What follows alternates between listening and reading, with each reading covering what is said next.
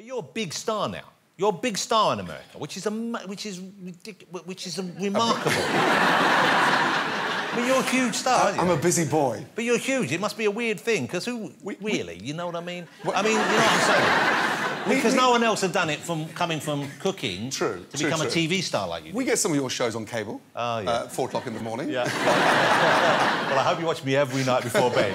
Um, but they let you swear. This is the amazing thing. American TV, because they're more prudish than we are, but they do let you swear on your shows, don't they? Yes. Oh, they, they bleep the thing, so um, it's always annoying. But you can. You're not someone. It's not like a Tourette's type thing. It's not like an impulse you can't control. Right. You, you can. When you're in certain situations, I've noticed that you have no problem Right. not swearing.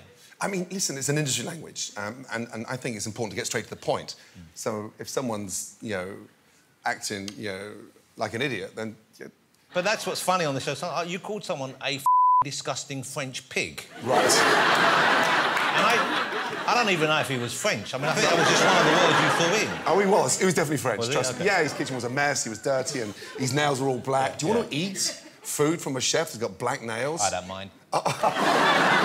Because here's the thing: when I watch your show, you go in, they give you food, and you go, "It's disgusting." I'm thinking. That looks all right. you know, I bet I would eat those restaurants. So I go, me and my wife, we go, that was lovely. You, know, uh, you haven't got my palate. So are you're like a super taster. Do you taste things more than regular people, do you think? Or it's just got- that you are attuned to... No, I've got an amazing tongue.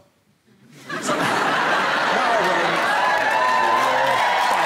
I've got an amazing. Come on. I've know, got that, amazing. sort of, that sort of boasting isn't attractive. No, no, but it's a refined palate. It's a refined palate. Yes. OK. Yes. But did you always have a refined palate? Because you, like me, come from a piss-poor background. You come from... no, you had no... Your family was a poor family, weren't they? My mum's watching. Well, but she was poor back then. Now, Yeah, I know, hopefully, you've I- looked... Is she still I- poor? I- oh, shame on you. shame on you, Ramsay. I wouldn't, I wouldn't call it. I mean, her house. So you come don't on. want her to watch because you don't want to see how well you're doing. I bought mum a house. Oh, you say that now. Yeah. But you're right. We grew up in a council estate. OK, and it- so yeah, did you it- have... You didn't have a refined palate then? Uh, no, uh, eggs and chips, beans and toast, uh, and uh, yeah, what else? Uh, Well, porridge we- made with made with water. Well, we used to dream of porridge with water.